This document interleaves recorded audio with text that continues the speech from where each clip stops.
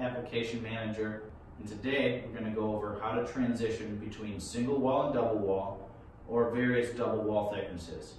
To do so, we use either a closure ring to transition from single wall to a double wall, or a transition band.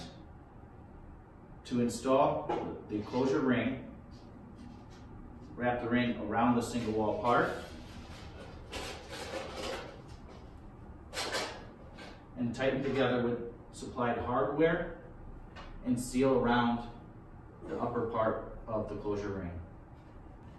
Now I'll show you how to install a transition band, which is used to transition between different wall thicknesses or even single wall to a double wall. The transition band replaces a standard outer wall band and closes off the gap. Simply place the band around the product